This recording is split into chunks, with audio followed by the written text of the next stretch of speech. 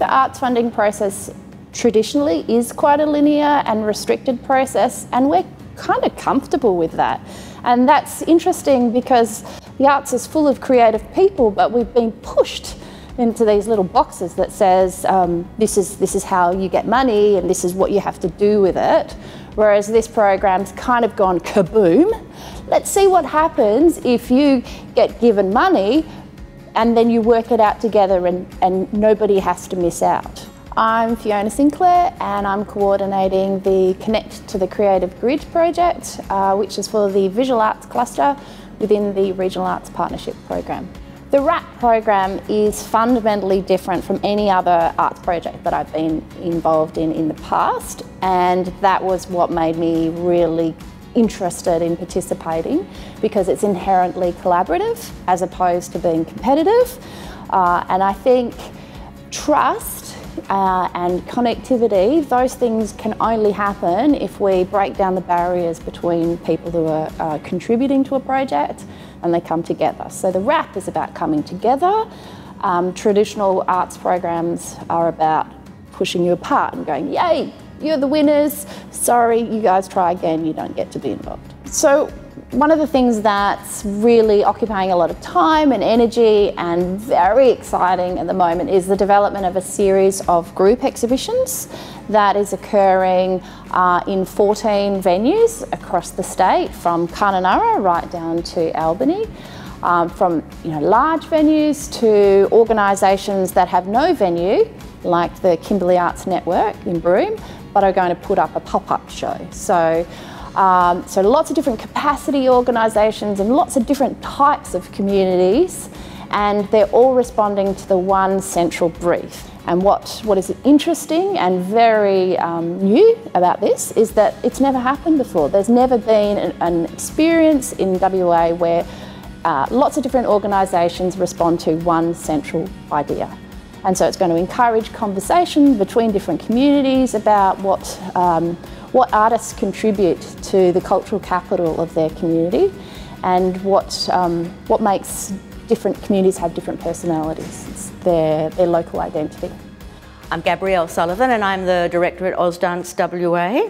One of the really good things about the process was that when, when we did get our cluster together and it was huge, um, we had a really reasonable pot of funding um, to scope the project.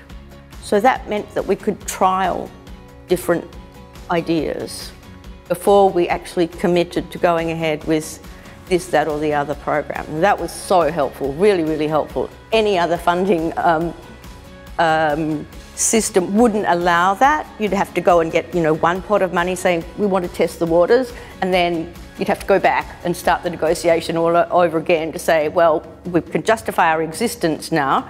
Um, can you fund us to get the project up and happening? My name is Charlotte Martin. I'm the projects manager for Ausdance WA.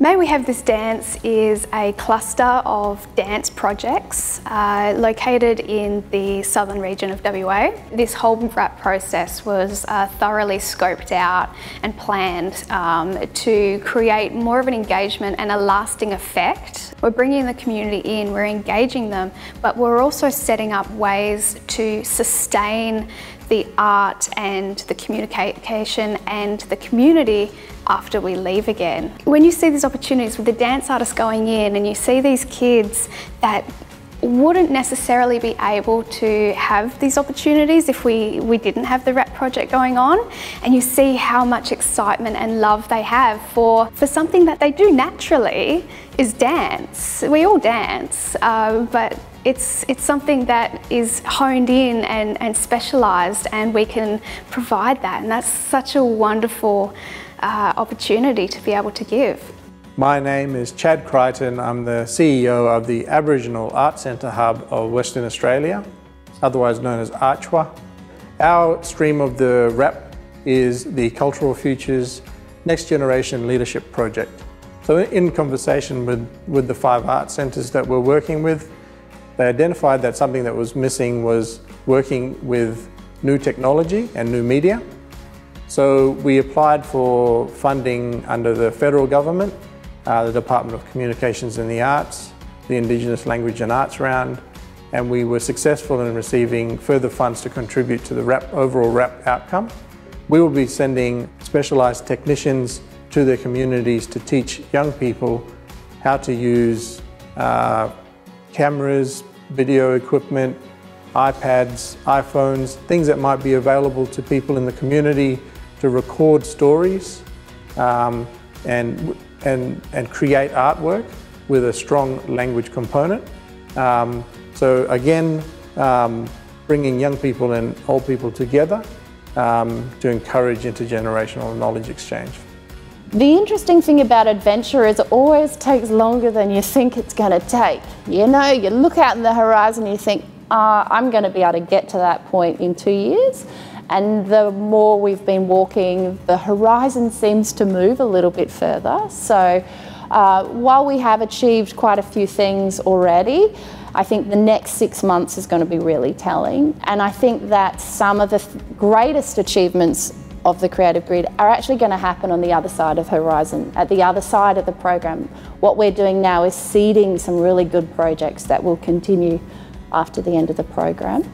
If there's something I'd like to share about what I'd love, like people to really see about this project is the way this project uh, delivers key funding to organisations in the regions that really need it. Uh, it delivers it in a way that allows them the freedom to really tailor it to their needs. Uh, it taking away a lot of the burden of having to spend lots and lots of time writing grants um, when they could be doing the activities. And that's what I really love about this project is that people have been able to, um, you know, sort of come together, express what they need.